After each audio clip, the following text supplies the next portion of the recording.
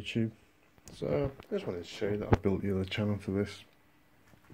And I've set both the quiescent currents around 45. I know it says uh, like about 90 milliamps on each of those, but that's because it's 45 per channel. So that's about 90 milliamps. And it's great to see that um, it's holding, but then when I set the, the currents, I did set them with the same heat sinks as what they've got on there and I left it for a good 15-20 minutes. Uh, fine tuning the pot just to get it smack on and now I've taken off the brighter LED you can see it on there the LED I've taken off the brighter one but the problem I've got now is that one there is dead on 2 volts across it which is what I was looking for and this one's 1.8 but the bright one was uh, 2.6 and it's nice to see now that each channel has only got it's around about two I suppose you know three milliamps um, between them. So when it's when it's just one channel on the power supply uh, between you know the, the, positive voltage and the negative voltage uh, there's only a couple of milliamp difference between them. And that's on both channels. So that's great. Mm -hmm the downside to this amplifier. I found the downside, and it's of no fault of this amplifier. This is a cracking little amplifier. I would say to anybody out there that's uh, considering building yourself something a little bit more, um, a little bit more, but not terribly complicated, but a little bit more complicated, you know, than the little half watt one that I did a, a few weeks ago, however long ago it was, a few videos ago. Uh, I mean, that's a nice little lamp. That's, that works okay. And the, the LM 1875, yeah, that's that's pretty good too. But obviously between the three of them, or I say obviously between that one, the, the little one, and this one, of course this one's better. And in my opinion, between the LM 1875 and this one, this one is better. And I'll tell you for one of the reasons why I say it's better. Is one, uh, well, the, the, the, main reason is that there's a notifiable difference now between. It's like I want to play some things that I've been playing previously on that little amp and on this, and they sound okay. But now, because I've been playing CDs and I can hear what this sounds like when you put CD through it, and I'm listening to the things that I normally listen to, it sounds all a little bit empty. So that's the downside to this amp. It shows up the quality of the audio that you've got. And unfortunately all this MP3 stuff now really seems to be quite bland in comparison to the CD. Difference is I can't actually play you anything from CD because it's all copyright. And of course, you know, those um, uh, they, they won't be very happy with it at all.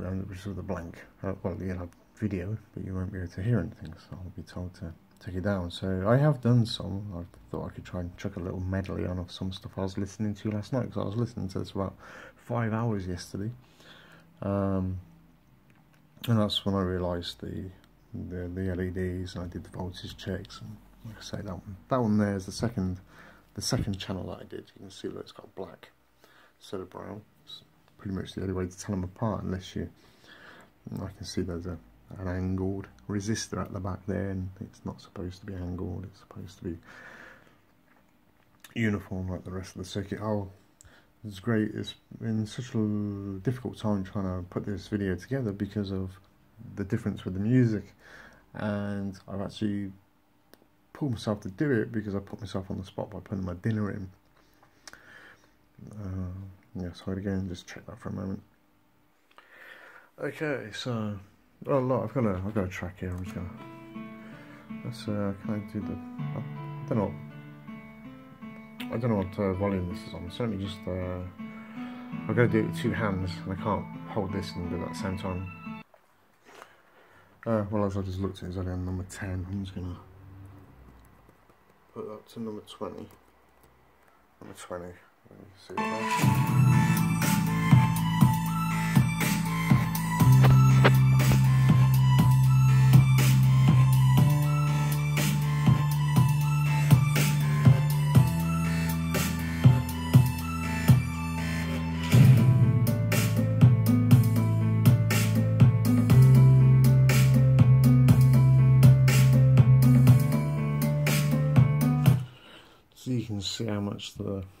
The current's moving. It's not doing anything.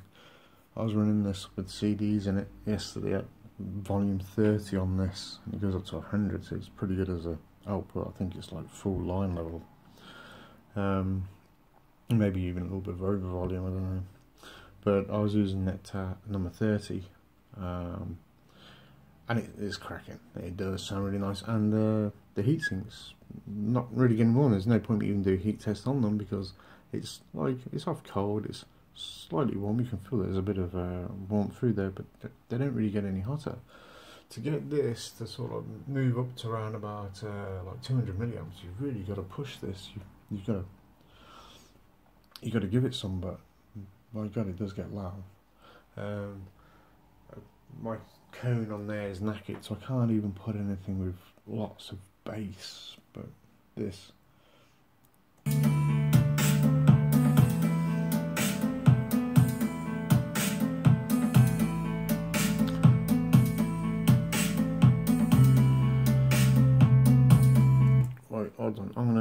Turn it up a bit more. Just found a way of resting you for a second, so put this back on. In fact, if I could turn that over here. So you get to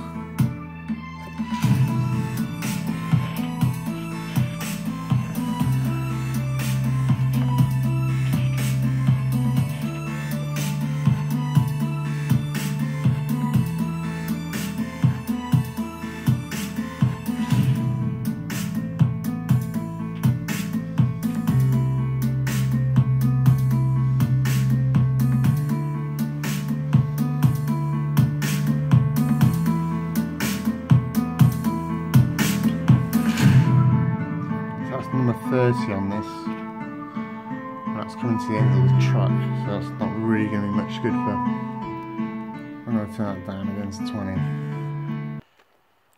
Oh, it's quite a piddle trying to do this because I don't have any real apparatus. I've got a, um, I've got a phone holder that you'd stick to a window inside a car, stuck onto the top of a lens, um, out of one of these like inspection lamps, like my LED lamp on my bench here so wibbles and wobbles all over the place. So that's messing around. This is not a bad track actually, just to have a little listen to. I'm gonna turn it up again with this because we're still on number 20.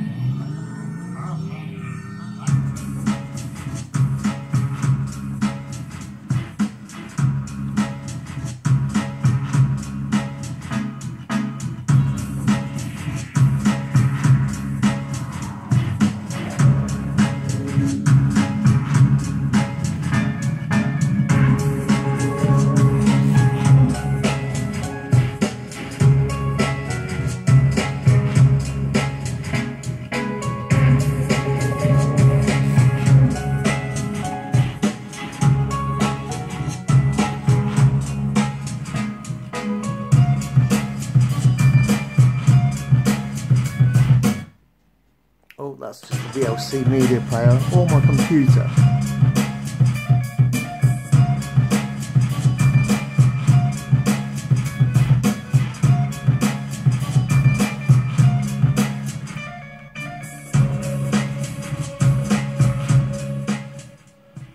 Right, I'm just going to find a different track and just sort of like play it out with this a bit because there's um, not a lot I can really sort of tell you about this this amplifier apart from all the parts on it pretty cheap. They are if you get them off eBay. Um, I would reckon that the cost for each channel is probably, let's say a fiver for each channel. And because like the heat sinks and that, just like scrap from old power supplies, yeah, say a fiver for each channel. I don't think that's uh, a lot for a nice little project, especially as it works. And I think that's uh, the thing when you, like me, I've built quite a lot of circuits now that I found on the internet, and you know, there's some I get to work, some I don't. But the ones I get to work, you see. The ones I don't, you don't really, because I just don't see the point in wasting your time. Uh, or mine by having videos just full of fails. So, but I do realise that, you know, um, sort of failing is all part of the learning thing um, which is pretty good. I made a mistake when I was building this one. Uh, this time it wasn't the resistor. uh, it was this down here you've got uh, two two capacitors here in series with each other and the connection for the 10R resistor which is through the back there should be able to see can I zoom in like that yeah see that little 10R resistor back there the connection from that should be in the middle. So the two legs connect on these two film resistors uh, capacitors down there. It should have been connected uh, it shouldn't be connected there and it was connected there and it should be connected to the furthest furthest furthest left leg of the um, film capacitor the one on the left so I was getting lot, I was getting overheating problems I was getting uh, yeah it was heating up quite badly um, not good at all not good at all so when I sort of figured out that it was that um, it was simple enough and it was great because you know I had to go over all my connections and just keep going over all the connections and keep going over the connections. And it's surprising how much you actually got to keep in your mind while you're doing that. So it's good for your memory. Good exercise for the memory. I wish I'd noticed what time I put my dinner in the oven and I didn't. That's not really good. They're pain. But as you can see, look back to settle and they're both on 90 milliamps again or thereabouts. It's probably going to have a little bit of change, but that's okay. We're not quite on 200 volts going in there, you can see down there. Because I'm trying to keep it like 25 volts on each on each channel. Just for now, it'll be okay for the 35 volts, but I've not got that meter set up for that. I can see the needle all the way across there. Hmm, yeah, so I'm quite chuffed with this. I'm going to find a song uh, just to play out with that we're familiar with. Not this one so much Not that one. This is quite good actually. I'm going to turn it up. I'm only going to let it go up to number 30. I probably won't actually. I'll probably put it on 26 because I think 30 is a bit loud.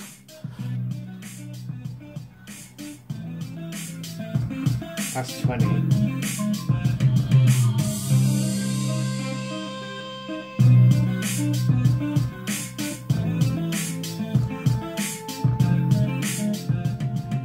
It's a pity actually that you can actually this one sounds quite nice. 24 I'm going to put it on 24 it's a pity that that right speaker is rattling as much as it is but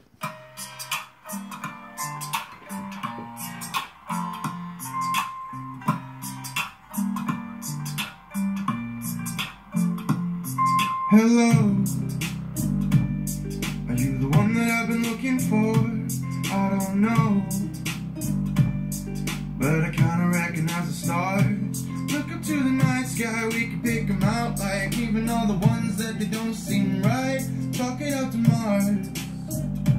Chalk it out to Mars. Hello. Are you the one that's on my frequency? I don't know. But I kinda recognize the It's terrible, isn't it? You can hear like rattling away like mad. It's it's almost uh, covering up the rest of that tune. So I'm gonna. Okay.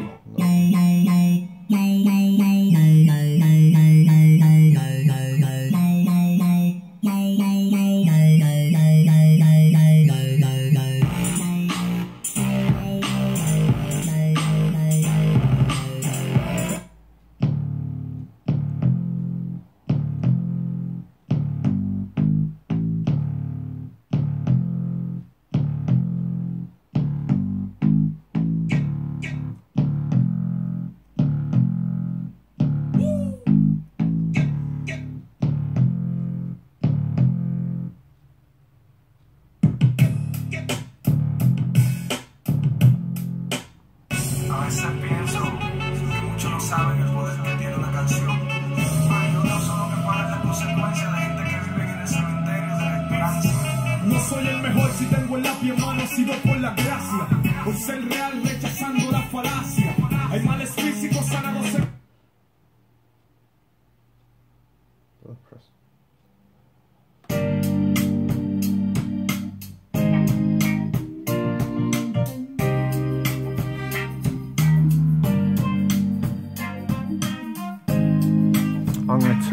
Down just like one. I'll tell you what number it's on. It's on 22. So I've turned it down to 20 just to try and get rid of the racket.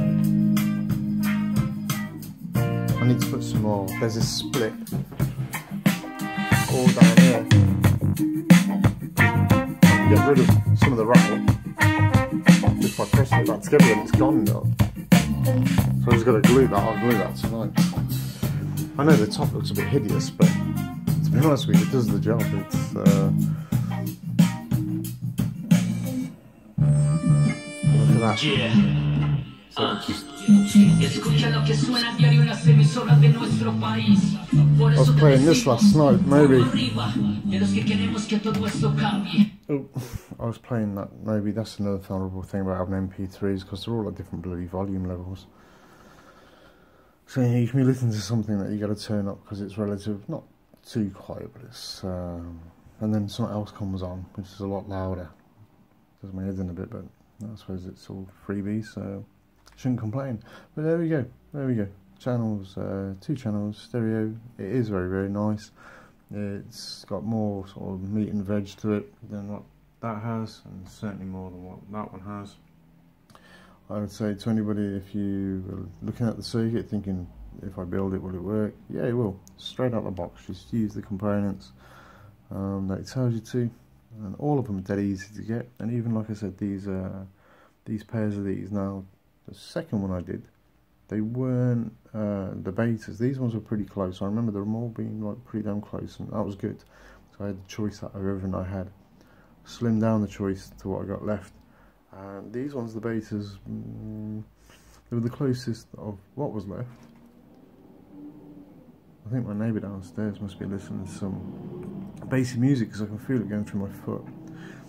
Which is cool. I've been doing the same thing. Um, yeah, yeah, what was I saying? Yeah, and these ones, yeah, they've got a bit more of a, uh, a gap in the beta values. Can't remember exactly what it was. It doesn't really matter. It's just a bigger gap, but it doesn't really make any difference. It, it doesn't seem to make a blind bit of difference. Them numbers being terribly, terribly close. Maybe it will at higher volumes. Uh, I don't know. I don't know. I made a modification to my power supply as well. Uh, so I'm coming in directly off this now. Of course, that's going through this uh, variable transformer, so I can turn the AC up and down. Going into those six amp uh, diodes. Underneath there is a X2 suppression capacitor, um, suppressing the, the noise off the AC.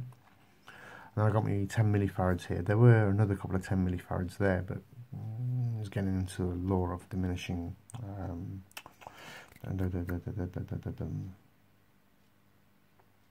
don't you hate it when your mind goes blank?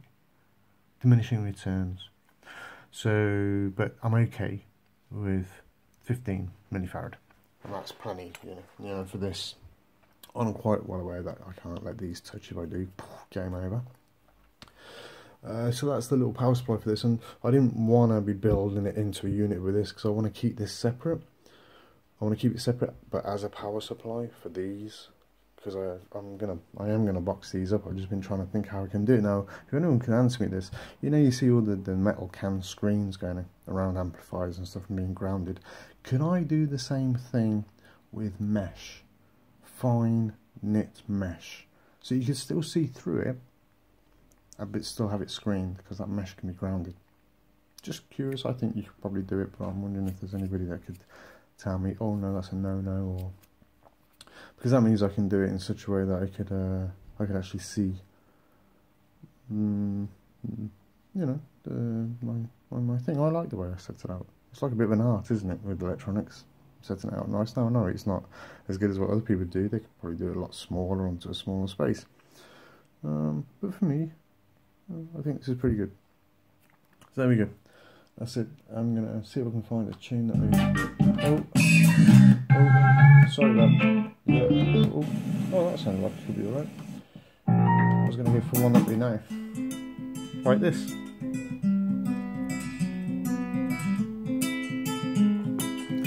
Now, of course, this one's louder than the others as well, so I'll then adjust the volume.